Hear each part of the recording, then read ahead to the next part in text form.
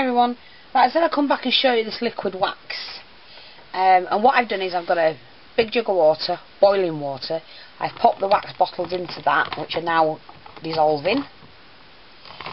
Uh, what I've done so far, just to show you a quick technique, and I'm going to show you another one, is if you want the drip effect, all you do, if you're doing it in a journal or something like that, of course you need a, a darker background. And um, all you do is you pour the liquid wax across the top and go back and forth like that till it drips down and it gives you the effect that you, you, you know, the desired look that you're looking for. And as you can see, that's done it really well. Dripped down, and all I did was just chop off the end bits that uh, I didn't want. But, I mean, obviously I'd do my project first and then I'd leave that to drop over. But you could go, you know, you could do all sorts with it. The other technique that you can do is to use Perfect Pearls, which I put ready on my stamp. I've got blue and purple on there and as you can see I've used just the blue one so you can actually see and you can see the butterflies, the flowers uh, and I've just used a little bit in the middle um, and then stamped on top of it when I've poured it on. Uh, and it brings I mean, it's really 3D effect. It does a really good job. So I hope you can see that. So what I'm going to do now now my wax is ready is I'm just going to show you that technique. And I've painted my board. Um, I've used acrylic paint on that one and you I know you need a surface to work on on the work surface to work on properly. And that when you've got to be really really quick so pour it on whoops see how it's gone like that. It doesn't matter if it goes over because it scrapes off. And then do that and pour it on. Uh,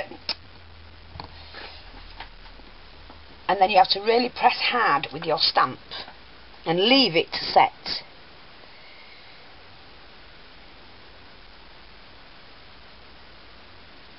and that will set shortly. If you put enough on, you can go all the way, you know, uh, over the page to make sure that's uh, set properly. See, that's setting, but it's not setting quick enough. And you just have to hold on to it. So while that's in there, I'm just going to pop it, because it sets really quickly, generally. So I'm just going to pop that back in my hot water and see what we've got here.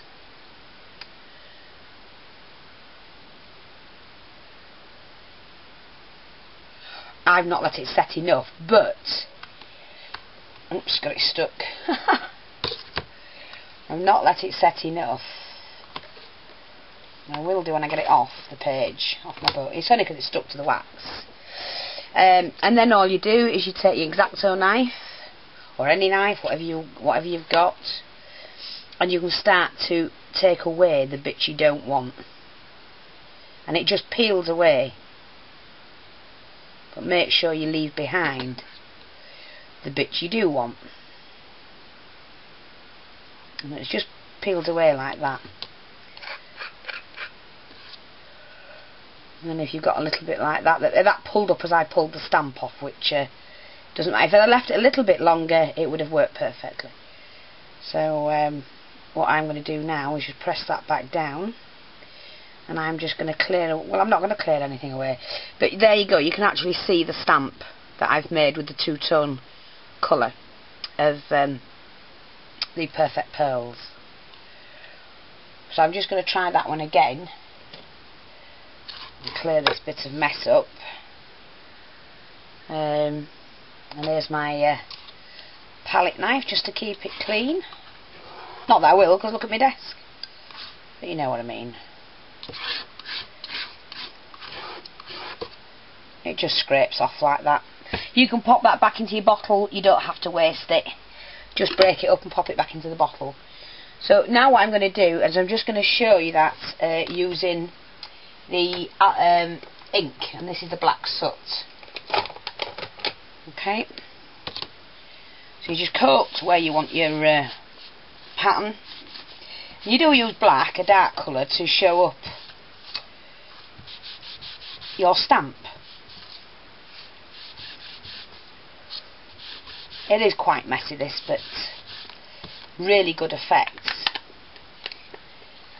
Pop that back. Put that onto there.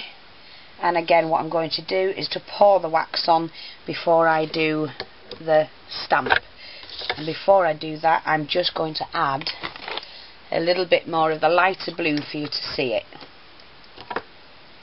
And just dabbing that in and popping that all over your stamp. And it actually melts into the wax when it's on. But it's just to give you an idea of what to do.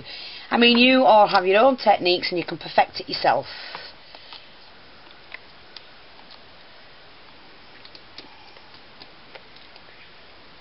Like I say, you do have to be quick with this. So I'm just going to get my stamp ready. I'm going to pour my wax on. Make sure I cover the area I want. Doesn't matter about it dripping off. See, that's, that's run off. You can just get that back and put it back into your box. Okay. I'm just going to leave that on. That back in. Oops.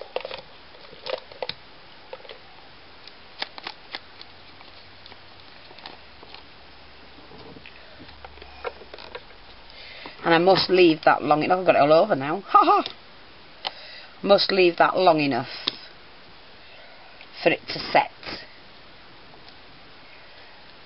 Which means if I can, I'm going to take it away from that. And really press hard. Sorry about the wait, but uh, you'll see what I mean. Right, I've just got time to finish this one. and there you go you know you've got your uh, pattern got your butterflies and your pattern I mean really if you're doing it with a big stamp you need a big area but I'm just showing you how to do it just blow that off use your brush to brush it. And then all you do is trim out your edges. And that just comes straight off. You know, if I wanted to do this bit here just do that and take that straight off. Just do it like that and it'll just come off